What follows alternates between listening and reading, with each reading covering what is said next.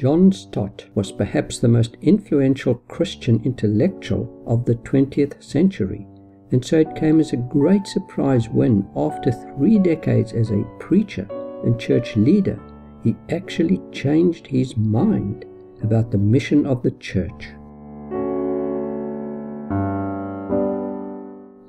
In 1966, the First World Congress on Evangelism, organized by evangelist Billy Graham, convened in Berlin. The large international congress was opened by Emperor Haile Selassie of Ethiopia. John Stott, because of his vast reputation as a Bible teacher, was asked to give a biblical account of the Great Commission. In his address from Luke's Gospel, Stott affirmed, The commission of the church, therefore, is not to reform society, but to preach the gospel. The primary task of the members of Christ's church is to be gospel heralds, not social reformers. Stott explained the message of the gospel. It is the offer of forgiveness to sinful men and women on the ground of the name of the crucified and risen Christ. There is no other message but the offer of forgiveness, and no other ground but the name of Christ. This is the good news we are commissioned to herald. It is the gospel according to the scriptures. The gospel will never change. Stott's message was clear. According to this commission, which is still addressed to us today, our primary duty is to be neither reformers of society nor healers of the sick, but rather preachers of the gospel. Stott concluded the cumulative emphasis seems clear. The mission of the church, according to the specification of the risen Lord, is exclusively a preaching, converting, and teaching mission. At Berlin in 1966, Stott had simply presented the orthodox understanding of the Great Commission widely believed by evangelical Christians over the centuries.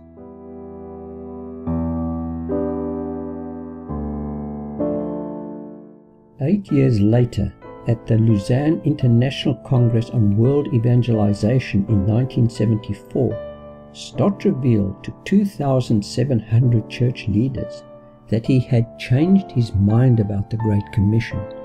In his opening address, entitled the biblical basis of evangelism, Stott said, The mission of the church arises from the mission of God and is to be modeled on it. He quoted the words of Jesus As the Father sent me, even so I send you, and asserted that the church should follow the incarnational model of the Great Commission.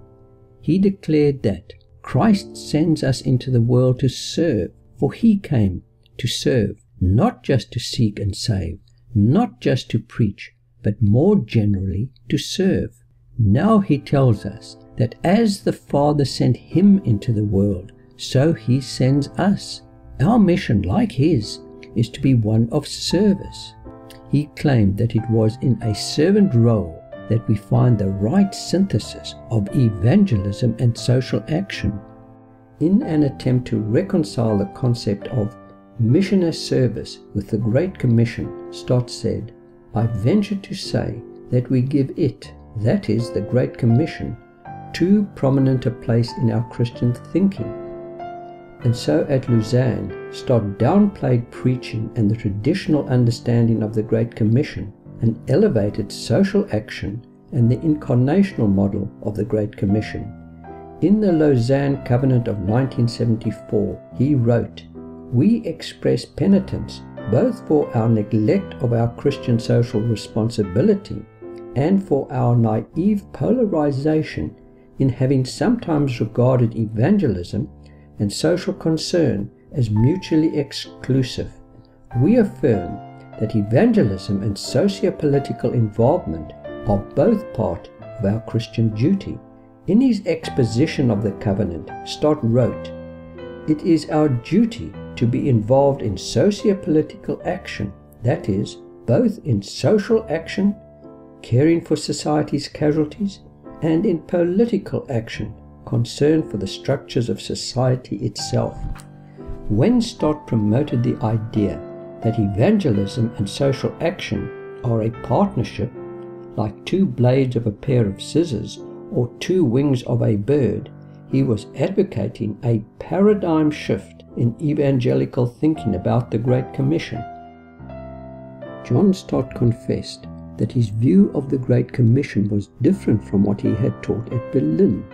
In his book, Christian Mission in the Modern World, published in 1975, he wrote, Today, however, I would express myself differently. I now see more clearly that not only the consequences of the Commission, but the actual Commission itself must be understood to include social as well as evangelistic responsibility, unless we are to be guilty of distorting the words of Jesus. Stott's change of mind was entirely consistent with what has become known as the holistic model of the Great Commission. There is no doubt that the 1974 Lausanne Congress was a watershed event for the evangelical mind was now open to the idea that the mission of the church is indeed holistic, involving socio-political action. John Stott based his change of mind on his interpretation of the Johannine version of the Great Commission. He writes, The crucial form in which the Great Commission has been handed down to us, though it is the most neglected because it is the most costly, is the Johannine. He asserted, deliberately and precisely, he made his mission the model of ours, saying, As the Father has sent me, even so I send you. Stott based his understanding of the Great Commission on this verse of Scripture, and so this verse of Scripture has been used to form the bedrock of the holistic movement. But does John's Gospel teach the kind of incarnational model advocated by Stott? The answer is an emphatic no. Stott is interpreting the text to support his own political agenda. So, how should we understand John 20:21. As God the Father authoritatively sent the Son, and as the Son submissively obeyed his Father, so Jesus now authoritatively sends his disciples into the world to preach the gospel to all nations, as we learn in Matthew 28. The issue in John 20:21 is authority and obedience, not the content of the mission. Stott's interpretation of John 20:21 fails to take account of the context, which is the forgiveness of sin. Social action is not mentioned. Theologian Andreas Kostenberger comments The fourth gospel does not therefore appear to teach the kind of incarnational model advocated by Stott and others, not the way in which Jesus came into the world, that is, the incarnation but the nature of Jesus' relationship with his sender, that is, one of obedience and utter dependence, is presented in the fourth gospel as the model for the disciples' mission. Commenting on Stott's theological understanding of mission, Kostenberger writes Stott broadly defines mission as service to humanity, including, but not limited to, evangelism. John Stott refers to the great commandment to love our neighbor to support his social agenda.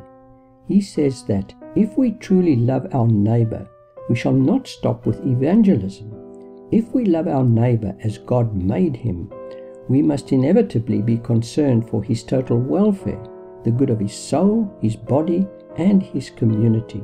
Moreover, it is this vision of man as a social being as well as a psychosomatic being, which obliges us to add a political dimension to our social concern. According to Stott, we should be involved in the quest for better social structures in which peace, dignity, freedom, and justice are secured for all men. To sum up, we are sent into the world, like Jesus, to serve. Stott is emphasizing the servant ministry of Jesus he wrote, So he gave himself in selfless service for others, and his service took a wide variety of forms according to men's needs. Certainly he preached, proclaiming the good news of the kingdom of God. He supplies us with the perfect model of service, It seems that it is in our servant role that we can find the rich synthesis of evangelism and social action. But Stott's emphasis on the servant role of Jesus is misleading, for at the heart of the gospel is the cross. For although Jesus ministered to the needs of men and women, his primary mission was to die on the cross for the sin of his people. But God commends his love toward us in that, while we were yet sinners, Christ died for us. It is a great mistake to claim, as Stott has done, that social reform is part of the evangelical mandate. Scripture teaches that social changes are an inevitable byproduct of conversion. Good works are the fruit of a Christian life. Christians are saved unto good works and are zealous to do good. For we are his workmanship, created in Christ Jesus unto good works, which God hath before ordained that we should walk in them. It is inevitable, therefore, that the good works of Christians lead to an improvement in the social condition of society. Tragically, Stott's change of mind has encouraged evangelicals to turn to the heretical ideas of the old social gospel and seriously undermine the gospel of truth, and had a massive impact on the mission field.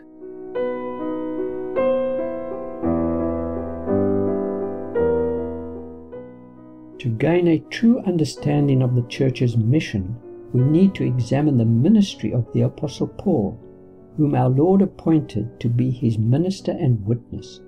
On the Damascus road, the risen Christ said to Paul, I have appeared to you for this purpose, to make you a minister and a witness, both of the things which you have seen and of the things which I will yet reveal to you.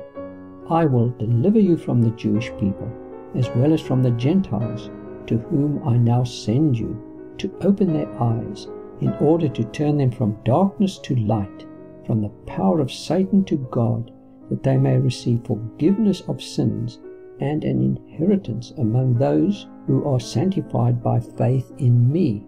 Here we learn from the risen Christ the true mission of the church.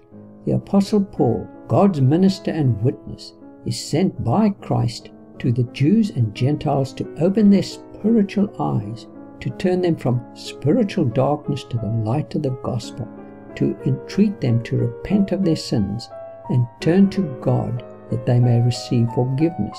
Paul, in obedience to the heavenly vision, preached the gospel of Christ to people in Damascus, Jerusalem, and Judea, and then to the Gentile nations. His message was Repent of your sins and turn to God, and do works fit for repentance those who repent and turn to God demonstrate the genuineness of their conversion by good works. It is clear that good works are the fruit of repentance and not part of the church's mission to the unbelieving world. Moreover, despite the oppressive Roman occupation, Paul did not agitate for socio-political transformation in Damascus, Jerusalem, or Judea. Such was Paul's zeal for the gospel of Christ. He said, Woe is unto me if I preach not the gospel. When he taught the Corinthian church, Paul determined to know nothing among them except Jesus Christ and Him crucified. John Stott, in direct opposition to the Apostle Paul, determined to make socio-political action and evangelism like two wings of a bird both part of the mission of the church, and in doing so distorted the words of Jesus by adding to the gospel. Stott's change of mind is the action of a double minded man who has betrayed the evangelical cause.